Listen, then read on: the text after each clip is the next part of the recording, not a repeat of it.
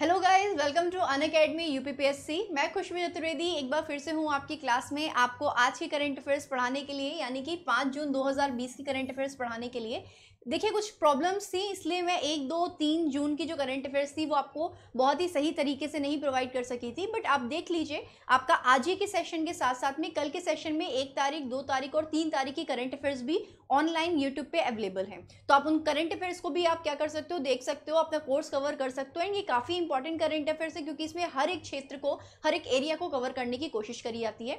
साथ ही साथ, अगर आप इन पूरी की पूरी करंट अफेयर्स का पीडीएफ डाउनलोड करना चाहते हैं तो आप इसी वीडियो के नीचे दिए गए टेलीग्राम चैनल के लिंक पे जाके क्लिक कीजिए आपको इसका पीडीएफ इजिली अवेलेबल हो जाएगा। सो so, पाँच तारीख भी आ गई है तो मैंने इसीलिए बोला क्योंकि चार जून को अच्छे खासे लोगों ने देख लिया है।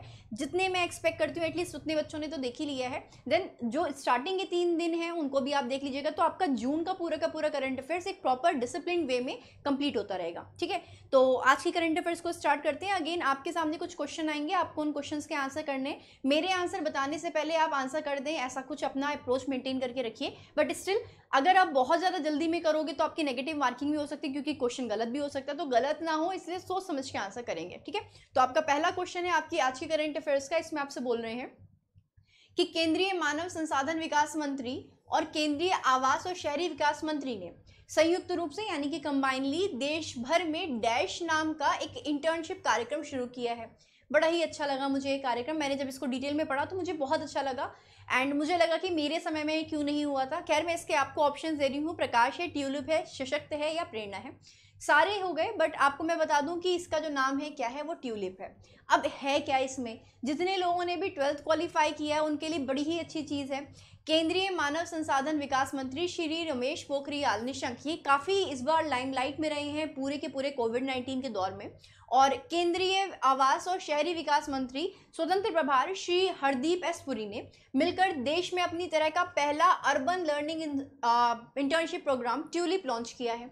इसके अंतर्गत स्नातक स्तर की शिक्षा पूरी कर चुके नए छात्रों को देश भर के शहरी स्थानीय निकायों और स्मार्ट सिटी सिटी जैसे प्रोजेक्ट्स में इंटर्नशिप करने का मौका मिलेगा। इसके साथ ही दोनों मंत्रियों ने ट्यूलिप का एक पोर्टल भी जारी किया है। तो अगर आपके पास में कहीं पे भी काम नहीं है और अगर आपको लगता है कि आपकी पढ़ाई किसी ना किसी तरीके से क्या हो रही है ऑब्स्ट्रक्ट हो रही है, रुक रही है बीच में 18 महीने की समय अवधि है आपके पास में।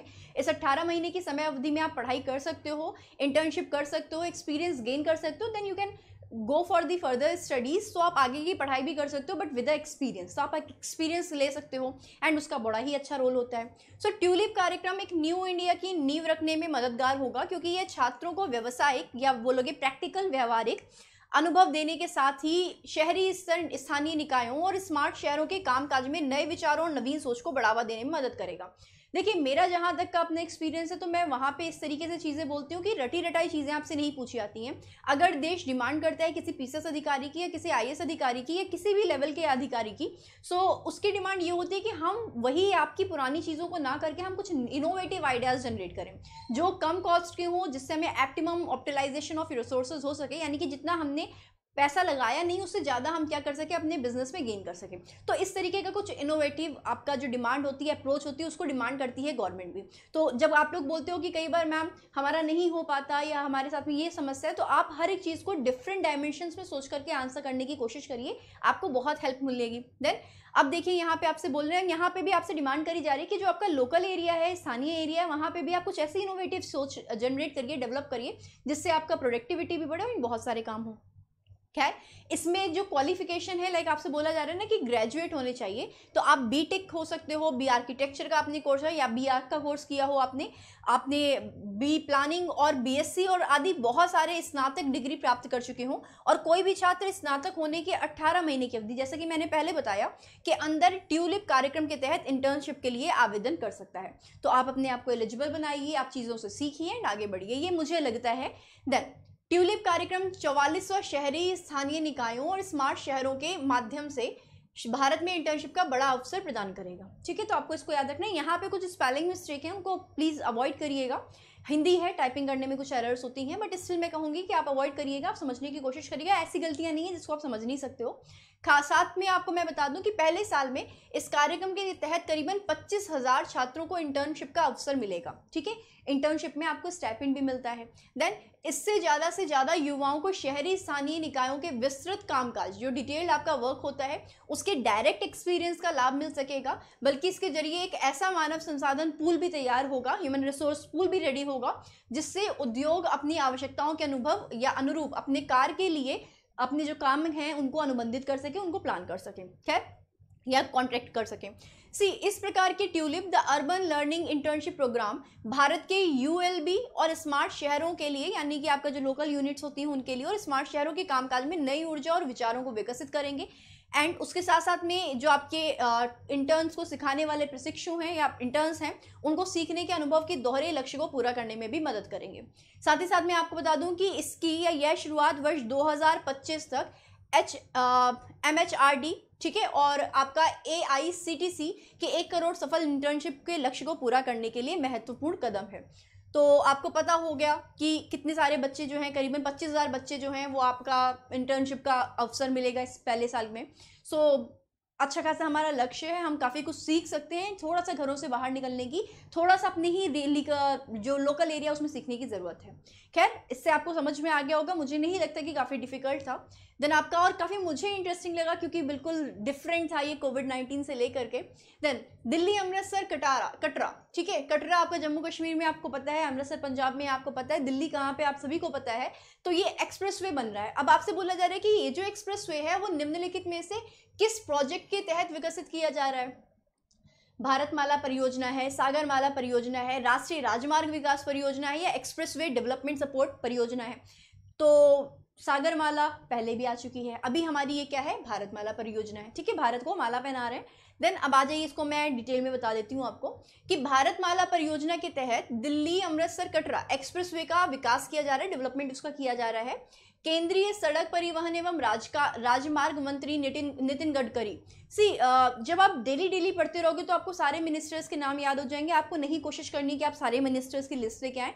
आप उनको याद करें। आप जो भी चीज़ें हाईलाइटेड होती हैं, उनको अगर देखोगे तो आपकी हैबिट बन जाएगी। इन्होंने दिल्ली अमृतसर एक्सप्रेसवे के तहत अमृतसर तक नए संपर्क मार्ग की घोषणा की है। दिल्ली अमृतसर कटरा एक्सप्रेसवे के हिस्से के रूप में अमृतसर तक अमृतसर तक एक नया मार्ग बनाया जाएगा। यह मार्ग नाकोदर से होकर के सुल्तानपुर लोधी गाइड जो आपका गोइंडवाला है, गोइंडवाला साहब, खदूर साहेब से होकर के गुजरेगा। ग्रीन फ़ील्ड के संरेखण में या आप बोलोगे संरेखण से अमृतसर शहर और पंजाब के सुल्तानपुर, लोधी, गोइंदवाला साहेब, खोर साहेब और डेरा बाबा नानक, करतारपुर साहिब इंटरनेशनल कॉरिडोर जैसे धर्म के अन्य केंद्रों को वैकल्पिक और सबसे छोटी कनेक्टिविटी मिलेगी। लाइक हमारे जो डेस्टिनेशन प्लेसेस होते हैं, जहाँ पे आपको लगता है कि ज़्यादातर आगमन होता है भक्तों का टूरिस्ट का तो उन एरिया को भी कनेक्ट करने की कोशिश करी जाएगी इस माला के थ्रू यानी कि भारत माला के थ्रू देन इस एक्सप्रेसवे के बनने से अमृतसर से दिल्ली और अंतर्राष्ट्रीय हवाई अड्डे तक का जो यात्रा समय है, वो घट करके चार घंटे रह जाएगा। ठीक तो चार घंटे अच्छा है बात ये। देन इसमें पहले हमें क्या लगते थे? आठ घंटे लगते थे तो आठ घंटे में से चार घंटे अब हमें लगेंगे। पहले चरण के एक्सप्रेसवे के निर्माण पर करीबन पच्चीस हज़ार करोड़ रुपए की लागत आने का अनुमान है। ऐसा हमें लग रहा है कि पच्चीस हज़ार रुपए करोड़ तक आ जाएगा। अब इसमें भी एक सीखने वाली बात है यहाँ पे क्या? कि पहले चरण तक आपको पच्चीस हज़ार करोड़ रुपए तो तब लगेंगे जब आप इस पहले चरण को प्रॉपर तरीके से कंप्लीट कर लोगे। अगर आपका ये पहला एक्सप्रेस वे है आप प्रॉपर तरीके से काम नहीं करते हो तो it will take too much time and in other session या इन अदर फाइनेंशियल ईयर में भी आप कह सकते हो कि हमें और ज़्यादा फंड लगाना चाहिए uh, लगाना पड़े। क्योंकि अभी हमने जो प्लानिंग करी है बजट हमने जो असाइन किया है वो इस ईयर के जो आपकी महँगाई है उसको देख करके किया जाता है तो उसके अकॉर्डिंग आपका जो रेट होता है वो इंक्रीज होता रहता है। लेट देखते हैं कि क्या होता है आगे। खैर, अभी तो हम लोग पॉजिटिविटी के ही दौर में जी रहे हैं या नेगेटिविटी के बाहर निकलने की कोशिश कर रहे हैं।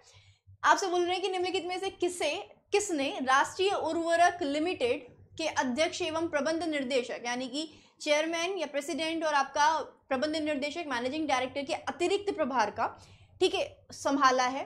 हरीशंकर दास ने वीरेंद्र नाथ दत्त ने, विजय कुमार चौहान ने या अनुराग त्रिपाठी ने? नहीं पता है, मैं आंसर कर देती हूँ भाई। वीरेंद्र नाथ दत्त है यहाँ पे, ठीक है? तो ये आपके राष्ट्रीय उर्वरक लिमिटेड के अध्यक्ष और प्रबंध निर्देशक बन गए हैं। श्री वीरेंद्र नाथ दत्त, निर्देशक विपणन यानी कि मार्केटिंग होता है नेशनल फर्टिलाइजर्स लिमिटेड ठीक है? एनएफएल के ने कंपनी के अध्यक्ष और प्रबंध निर्देशक का अतिरिक्त प्रभार संभाल लिया है। श्री दत्त अक्टूबर 2018 से कंपनी में निर्देशक विपणन के रूप में जुड़े हुए हैं। महर्षि दयानंद विश्वविद्यालय से एमबीए श्री दत्त को फर्टिलाइजर्स उद्योग के अलावा गेल इंडिया और ओएनजीसी जैसी बड़ी सरकारी कंपनियों में कार्य का 35 साल से ज़्यादा का अनुभव है। एनएफएल में कार्यभार ग्रहण ग्रहण करने से पहले वे गेल इंडिया लिमिटेड में कार्यकारी निर्देशक थे एग्जीक्यूटिव डायरेक्टर थे, जहाँ वे कॉरपोरेट राजनीति, योजना और एडवोकेसी के अलावा कंपनी के देश भर में विपणन कारोबार के प्रभारी थे। वे महानगर गैस लिमिटेड, मुंबई के बोर्ड में निर्देशक भी रह चुके थे। तो आपको इतनी सारी चीज़ें पता होंगी। देन 1995 में गेल इंडिया में कार्यभार ग्रहण करने से पहले श्री दत्त ने ओएनजीसी में भी 10 साल तक कार्य किया है। निर्देशक विपणन एनएफएल के रूप में कार्य करते हुए श्री दत्त ने कंपनी की उर्वरक बिक्री को फर्टिलाइज़र की बिक्री को विगत दो वर्षों में 32 प्रतिशत वृद्धि के साथ तिरालीस लाख मीटर टन से सत्तावन लाख मीटर टन तक आपका पहुँचाने में मीट्रिक टन तक पहुँचाने में मुख्य भूमिका निभाई है। इस अवधि के दौरान एफ़ एनएफएल ने उर्वरक उद्योग में अखिल भारतीय स्तर पर अपनी पहचान बनाई है। सो, अपने आप में अच्छी एक बात है। अगर मैं आपको एनएफएल के बारे में राष्ट्रीय उर्वरक लिमिटेड या आप बोल सकते हो कि नेशनल फर्टिलाइजर्स लिमिटेड के बारे में बताऊँ समटाइम्स देखिए it is really very difficult to learn each and every short form of every institution every department so for that case आप क्या कर सकते हो आप उनको डिटेल में पढ़ सकते हो एंड धीरे धीरे gradually you will have the आपको अंदर आपके अंदर ये आदत आ जाएगी और आप इन सारी चीज़ों को याद कर लोगे। सारे शॉर्ट फॉर्म को इवन मुझे भी प्रॉब्लम होती है टू बी वेरी फ्रेंक मैं भी uh, ये चीज़ हमेशा आपका एक्सेप्ट करती हूँ। आपसे बोला जा रहा है कि नेशनल फर्टिलाइजर्स लिमिटेड रासायनिक उर्वरकों, जैविक उर्वरकों और आपके औद्योगिक रसायनों का एक भारत राज्य स्वामित्व वाला उत्पादक है। 2018 तक ये भारत में उर्वरकों का दूसरा सबसे बड़ा उत्पादक था, यानी कि प्रोड्यूसर था। इसकी स्थापना एक सितंबर उन्नीस को हुई थी। भौगोलिक दायरा जो है, यानी कि आपका जोग्राफिकल इनका जो स्कोप है, वो इंडिया है। हेडक्वार्टर इनका नोएडा में है। तो अच्छी बात है कि नोएडा में इसका, यानी कि न्यू ओखला इंडस्ट्रियल डेवलपमेंट आपका है। तो नोएडा में इसका क्या है? अथॉरिटी में है इसका ऑफ़िस एंड ये हैं आपके वीरेंद्र नाथ दत्त तो एक्सपीरियंस इंसान है। होपफुली आगे प्रोग्रेस करवाएँगे। आपसे नेक्स्ट प्रश्न में बोला जा रहा है कि भूटान की शाही सरकार, आप सभी को पता होगा कि भूटान में आपका क्या चलता है? शाही शासन चलता है। जिगमे खेसर, नामग्याल वांगचुक वहाँ के आपके शासक हैं। सो आधुनिकीकरण से काफ़ी विकसित या आप बोलोगे पिछड़े हुए हैं, पिछड़े नहीं हुए they don't want to get modernization in their country and काफ़ी सर्वाइव भी कर रहे हैं। हिमालयन क्षेत्र में होने के बाद भी ये देश जो है, भूटान है, बहुत ही शांतिपूर्वक है, बहुत ही साफ़ सुथरा है। खैर, ये भूटान के बारे में बात हो गई एंड अभी हम लोग इसको देख लेंगे कि भूटान की जो शाही सरकार है और भारत सरकार है, इनके बीच में एक समझौता ज्ञापन यानी कि एमओयू के संदर्भ में निम्नलिखित में से कौन सा कथन, ये सारे स्टेटमेंट दिए गए हैं, आपसे बोल रहे कौन से कथन सही हैं। अब इनको ढंग से सुनिएगा, ध्यान से सुनिएगा। पहला स्टेटमेंट है, या पहला आपका ऑप्शन है, इसमें आपसे बोल रहे हैं कि केंद्रीय मंत्रिमंडल ने सेंट्रल कैबिनेट ने, ठीक है, पृथ्वी विज्ञान में वैज्ञानिक और तकनीकी सहयोग के क्षेत्रों में सहयोग पर भारत सरकार और भूटान के बीच समझौता ज्ञापन पर हस्ताक्षर करने के लिए मंजूरी देती है। पहला स्टेटमेंट हमें पता चल गया, ठीक? अब बोला जा रहा है कि यह जो समझौता ज्ञापन हस्ताक्षर है, इसकी तारीख से लागू होता है और, पंद्रह वर्षों की अवधि तक लागू रहेगा, पंद्रह साल तक इसको लग जाएँगे। आपसे ये भी बोला जा रहा है कि ये जो समझौता हुआ है तो समझौता निम्नलिखित क्षेत्रों को कवर करेगा। लाइक आपका पृथ्वी विज्ञान की बात कर रहे हैं तो उसमें वायु है, अपशिष्ट है, वेस्ट है, रासायनिक प्रबंधन है एंड केमिकल मैनेजमेंट है, जलवायु परिवर्तन है, वो सभी लोग उससे पीड़ित हैं, और ऐसे अन्य क्षेत्र हैं जिन पर संयुक्त रूप से निर्णय लिया गया है। डी ऑप्शन है, उस, उसमें बोल रहे हैं उपरोक्त में सारे सही हैं। देखिए, अगर आप यूपी पीसेस की बात कर रहे हो तो हाँ ये आपके जो मेरे हिसाब से सारे ऑप्शन सही हैं। बट अगर आप बहुत ज़्यादा फैक्चुअल इन्फॉर्मेशन की बात करोगे और करंट अफेयर्स की बात करोगे तो यूपीएससी में मे बी इनके अंदर का भी जो कंटेंट है वो थोड़ा सा चेंज हो जाए। बट स्टिल बहुत ज़्यादा डिफ़िकल्ट नहीं है बट आपको एक एक पॉइंट याद करना पड़ेगा। ठीक है? अब इसमें मैं पढ़ के बता देती हूँ क्या क्या है। देखिए, प्रधानमंत्री श्री नरेंद्र मोदी की अध्यक्षता में केंद्रीय मंत्रिमंडल ने पर्यावरणीय क्षेत्रों में सहयोग के लिए भूटान की शाही सरकार और भारत सरकार के बीच एक समझौता ज्ञापन पर हस्ताक्षर किए ठीक है? अब क्या है? आपसे बोल रहे हैं कि यह समझौता ज्ञापन दोनों देश में लागू कानूनों और कानूनी प्रावधानों को ध्यान में रखते हुए इक्विटी पारस्परिकता और पारस्परिक लाभों के आधार पर दोनों देशों को पर्यावरण के संरक्षण और प्राकृतिक संसाधनों के प्रबंधन में निकट और दीर्घकालिक सहयोग को स्थापित और संवर्धित करने में सक्षम बनाएगा। ठीक है? समझौता ज्ञापन प्रत्येक देश में लागू होने वाले आवश्यक कानूनों और कानूनी प्रावधानों पर विचार भी करेगा। समझौता पर्यावरण के निम्नलिखित क्षेत्रों को कवर करेगा। लाइक वायु हुआ अपशिष्ट हुआ, आपका केमिकल मैनेजमेंट हुआ, जलवायु परिवर्तन हुआ और ऐसे अन्य क्षेत्र हुए जिनके ऊपर संयुक्त रूप से निर्णय लिया गया। सही स्टेटमेंट यह समझौता ज्ञापन हस्ताक्षर की तिथि से लागू होगा और दस वर्ष की अवधि के लिए लागू रहेगा। ठीक, इसके पहले हम लोगों ने जब देखा था तो वहाँ पर बोल रहे थे आपसे क्या कि जो हमारा फ़र्स्ट पॉइंट था इसके पहले वाला एंड पंद्रह वर्षों की अवधि तक लागू रहेगा। ठीक है तो ये वाला जो ऑप्शन हो गया, वो क्या हो गया? गलत हो गया। ठीक, अब ऊपर वाला जो ऑप्शन है, यहाँ पे बोल रहे हैं पृथ्वी विज्ञान में वैज्ञानिक और तकनीकी सहयोग, ये पर्यावरण के लिए है। तो ये भी क्या हो गया? गलत हो गया। बहुत जब डिटेल में पढ़ेंगे। आपने बोला समझौता निम्नलिखित क्षेत्रों को कवर करेगा। तो ये वाला जो ऑप्शन है, वो सही है। तो आपका जो सही ऑप्शन हो जाएगा, वो कौन सा हो जाएगा? सी हो जाएगा। डी ऑप्शन सही नहीं है ए भी नहीं सही है एंड बी भी सही नहीं है। ठीक है? थोड़ा सा बड़बड़ाइएगा नहीं। आराम से देख लीजिएगा क्वेश्चन को। अब देख लीजिए। फिर क्या हुआ? इसमें बोला गया कि समझौता ज्ञापन के तहत सार्वजनिक और निजी दोनों क्षेत्रों के माध्यम से अनुभवों, सर्वोत्तम कार्य प्रणालियों और तकनीकी जानकारियों को आदान प्रदान करने के साथ साथ सतत विकास यानी कि सस्टेनेबल डेवलपमेंट में योगदान भी दिया जाएगा। ठीक? भारत सरकार के पर्यावरण, वन और जलवायु परिवर्तन मंत्रालय, ठीक है? के केंद्रीय प्रदूषण नियंत्रण बोर्ड और आपका भूटान सरकार की राष्ट्रीय पर्यावरण आयोग के बीच 11 मार्च 2013 को एक समझौता ज्ञापन पर हस्ताक्षर किए गए थे। यह समझौता ज्ञापन 10 मार्च 2016 को समाप्त हो गया। ठीक है? पता चल गया। नेक्स्ट आपका प्रश्न है, आपसे बोल रहे हैं। ई बुलेटिन ठीक है? अब पढ़ाई नहीं रुकेगी। ठीक है? पढ़ाई नहीं रुकेगी। किस राज्य सरकार की एक पहल है? उत्तर प्रदेश, मध्य प्रदेश, असम और पंजाब। देखिए भाई, ये आपके मध्य प्रदेश की पहल है। और जब से शिवराज सिंह जी शिवराज सिंह चौहान जी आए हैं तब से बहुत सारी पहलें हो रही हैं मध्य प्रदेश में। मैं बहुत ही खासा नोटिस कर रही हूँ इन सब चीज़ों को।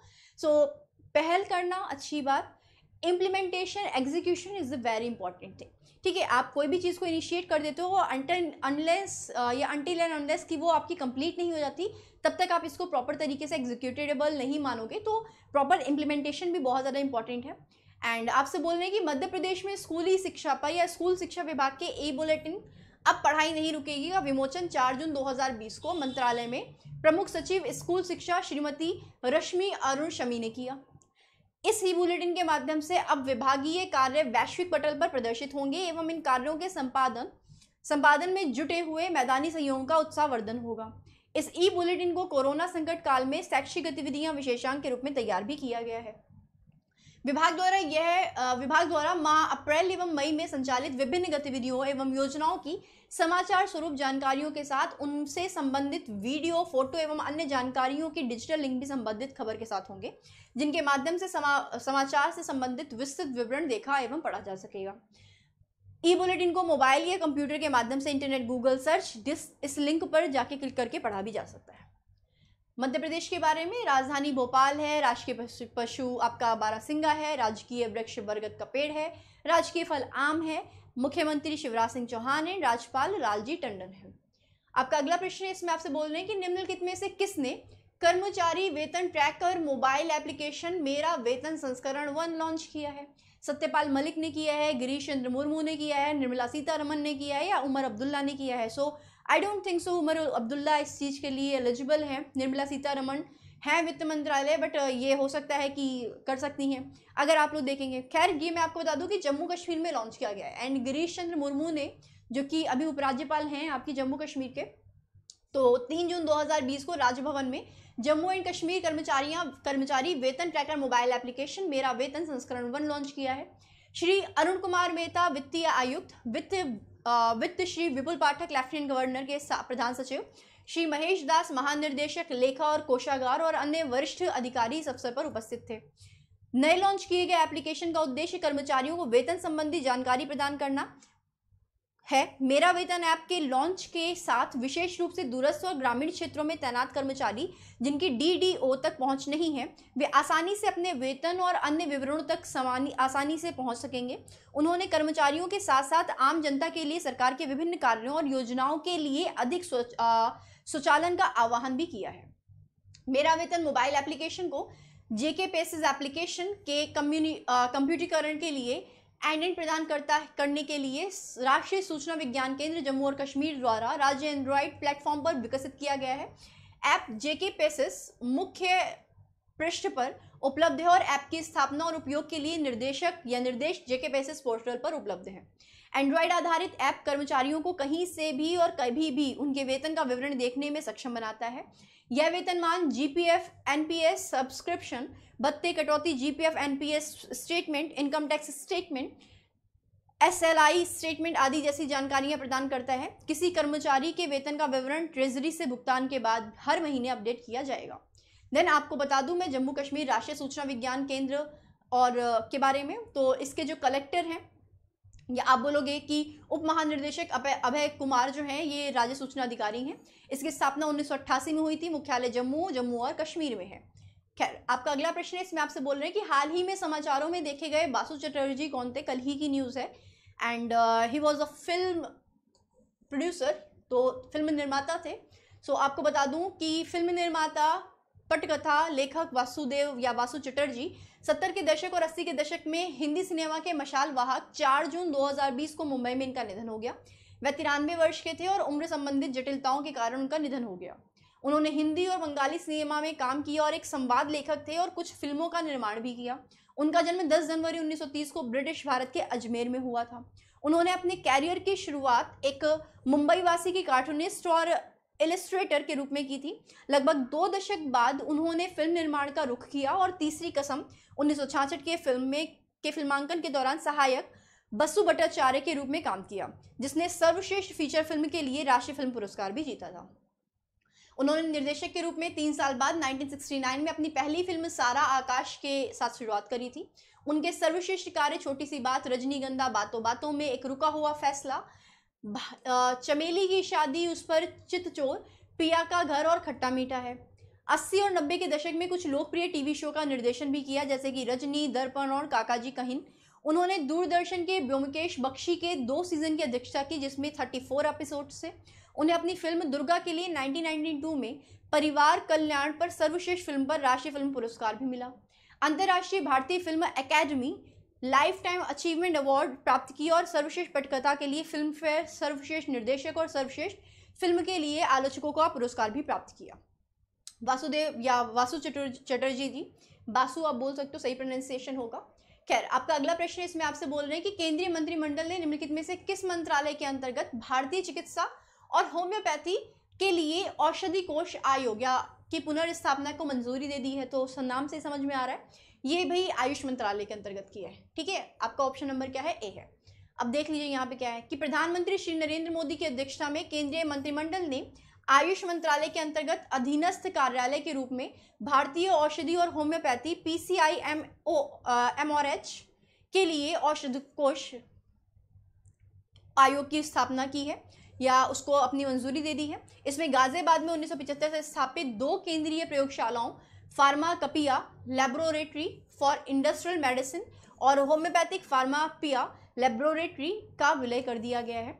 इसमें पी सी आई एम और एच की मिली हुई अवसंरचना और इसकी प्रयोगशालाओं में आवश्यक संशोधन करके और औषधि और प्रसाधन सामग्री नियम 1945 के प्रावधानों को अधिकार देकर कानूनी दर्जा प्रदान किया जा सकेगा। वर्तमान में 2010 से स्थापित आयुष मंत्रालय के अंतर्गत भारतीय और औषध और भारतीय औषध और होम्योपैथी के लिए औषध कोष आयोग एक स्वायत्त शासी संगठन है। विलय का उद्देश्य तीनों संगठनों की बुनियादी ढांचा सुविधाओं, तकनीकी मानव श्रम और वित्तीय वित्तीय संस्थानों का अधिकतम इस्तेमाल करना है, ताकि आयुर्वेद, सिद्ध यूनानी और होम्योपैथी दवाओं के नतीजों के मानकीकरण में वृद्धि की जा सके, जिससे प्रभावी नियंत्रण और गुणवत्ता युक्त नियंत्रण की दिशा में बढ़ा जा सकेगा। काफ़ी डिटेल था but still it is really very important to know then आपका अगला प्रश्न इसमें आपसे बोल रहे हैं निम्नलिखित में से कौन ब्रिटिश फ़िल्म और टेलीविज़न कला का कला अकेडमी के नए अध्यक्ष बने हैं? फ़िल्म uh, कौन ब्रिटिश फ़िल्म और टेलीविज़न कला अकेडमी के नए अध्यक्ष बने? पुष्कर सक्सेना उदय कोटक सुब्रमण्यम सुंदर एंड कृष्णेंदु मजूमदार। कृष्णेंदु मजूमदार जो हैं ये आपके बने हैं फिर ब्रिटिश फ़िल्म और टेलीविज़न कला अकेडमी के नए अध्यक्ष ठीक है? अब क्या है? पुरस्कार विजेता निर्माता टेलीविज़न निर्माता कृष्णेंदु मजूमदार बाफ्टा के पिछले करीब तिहत्तर साल के इतिहास में अध्यक्ष के रूप में नामित होने वाले पहले व्यक्ति हैं। पिछले 35 सालों के इतिहास में Krishnendu Majumdar British Academy of Film and Television Arts के सबसे कम उम्र के अध्यक्ष हैं। वह पिप्पा हैरिस की जगह लेंगे। हैरिस अब डिप्टी चेयरपर्सन के रूप में जारी रहेंगे। कृष्णेंदु मजूमदार अब अगले तीन सालों तक इस पद की ज़िम्मेदारी संभालेंगे। कृष्णेंदु इससे पहले एक साल तक बाफ्टा के उपाध्यक्ष के पदभार पर भी रह चुके हैं। कृष्णेंदु मजूमदार बीते चौदह साल से बाफ्टा से जुड़े हुए हैं। इससे पहले उन्होंने न्यू टैलेंट कमेटी के प्रमुख के रूप में, टेलीविज़न कमेटी के प्रमुख के रूप में और नौ साल बोर्ड ऑफ़ ट्रस्टी के सदस्य के रूप में काम किया। इसके अलावा कृष्णेंदु मजूमदार ने साल 2012 में भी, में पी प्लस यू नाम की प्रोडक्शन कंपनी की भी स्थापना की थी। बाफ्टा के बारे में बता देती हूँ कि British Academy of Film and Television Arts, BAFTA एक स्वतंत्र दान है, जो यूनाइटेड किंगडम में चलती छवि, यानी कि फ़िल्म, टेलीविज़न और गेम के कला रूपों का समर्थन करता है, विकसित करता है और उनको क्या करता है? बढ़ावा देता है। इसकी स्थापना उन्नीस में हुई थी। आप बाफ्टा को याद रख सकते हो कि भारत के स्वतंत्रता दिवस के साथ में हुआ था। इसका मुख्यालय, या मुख्यालय पिकाडिली, लंदन में है, या आप बोलोगे W one J United Kingdom में है। सो ये हैं कृष्णेंदु, मजूमदार, इनको आप देख सकते हैं। नेक्स्ट आपका अगला प्रश्न है और इसमें आपसे बोल रहे हैं कि विश्व पर्यावरण दिवस के संदर्भ में निम्नलिखित कथनों पर विचार करिए इसका आंसर आप लोग करोगे। खैर, कर सकते हो तो कर दीजिएगा अदरवाइज़ मैं पढ़ाऊँगी, आप देख लीजिएगा। बोल रहे कि विश्व पर्यावरण दिवस 2020 का जो विषय है, वो है प्रकृति के लिए समय। ठीक है? सेकेंड स्टेटमेंट में बोल रहे हैं कि पहली बार इस विषय को मनाने की घोषणा संयुक्त राष्ट्र संघ द्वारा सन उन्नीस सौ अट्ठासी में की गई थी। अब इन दोनों में से कौन से कथन सही है? पहले पढ़ लो, फिर बता देना। देखो भाई प्रतिवर्ष पाँच जून को आज पाँच जून है ना को विश्व पर्यावरण दिवस मनाया जाता है। इस बार छियालीसवां विश्व पर्यावरण दिवस मनाया जा रहा है। विश्व पर्यावरण दिवस को मनाए जाने का मुख्य उद्देश्य पर्यावरण के प्रति लोगों में जागरूकता फैलाना है। एंड uh, पहली बार इस दिवस को मनाने की घोषणा संयुक्त राष्ट्र संघ द्वारा उन्नीस सौ बहत्तर में की थी। अठहत्तर अट्ठासी में नहीं था आपका बहत्तर था। एक बार इसको फिर से देख लीजिए भाई। क्या किया था? आपका 1988 नहीं है उन्नीस सौ बहत्तर में करी गई थी। ठीक तो यहाँ पे हमें समझ में आ गया। अब क्या है कि पाँच जून उन्नीस सौ चौहत्तर को पहला विश्व पर्यावरण दिवस मनाया गया और विश्व पर्यावरण दिवस मनाने की शुरुआत स्वीडन की राजधानी स्टॉकहोम में हुई। या उन्नीस में पहली बार पर्यावरण सम्मेलन आयोजित किया गया था, जिसमें करीबन 119 देशों ने भाग लिया था। तो हमारा पहला स्टेटमेंट सही है एंड सेकेंड स्टेटमेंट हमारा कैसा है? गलत है। विश्व पर्यावरण दिवस का जो विषय है वो मैं आपको बता देती हूँ कि पृथ्वी वर्ष या प्रतिवर्ष विश्व पर्यावरण दिवस को पाँच जून को हम मनाते ही। एंड एक विषय दिया जाता है। इस विश्व पर्यावरण दिवस 2020 का जो विषय है, वो प्रकृति के लिए समय है। बिल्कुल करेक्ट है। इसका उद्देश्य पृथ्वी और मानव विकास का, पर जीवन समर्थन करने वाले आवश्यक बुनियादी ढांचे प्रदान करना है। ठीक है? प्रतिवर्ष विश्व पर्यावरण दिवस के मौके पर दुनिया भर के देश आधिकारिक समारोह आयोजित करते हैं। लेकिन इस वर्ष के मेजबान जर्मनी के साथ साझेदारी को में कोलंबिया है। इस साल कोविड 19 महामारी के प्रकोप के कारण लाखों लोग डिजिटल रूप से विश्व पर्यावरण दिवस मनाएँगे। भले ही मनुष्य को लॉकडाउन ने हिलाकर रख दिया हो, लेकिन पर्यावरण पर लॉकडाउन का सकारात्मक प्रभाव पड़ा है। तो आप सभी लोग जानते हो एंड इवन मैं भी जानती हूँ। So it was a theme of विश्व पर्यावरण दिवस एंड विश्व पर्यावरण दिवस भी आ गया। एंड इसके बारे में क्वेश्चन भी पूछेंगे क्योंकि अपने आप में सारे के सारे डेज़ जो है वो बहुत इंपॉर्टेंट है। सो आई होप कि आपको ये क्वेश्चन अच्छे लगे होंगे। एंड अगर अच्छे लगे हों तो प्लीज़ लाइक कर दीजिएगा शेयर कर दीजिएगा एंड सब्सक्राइब भी करिएगा अन अकेडमी के प्लेटफॉर्म को। And again thank you for watching the session bye tata take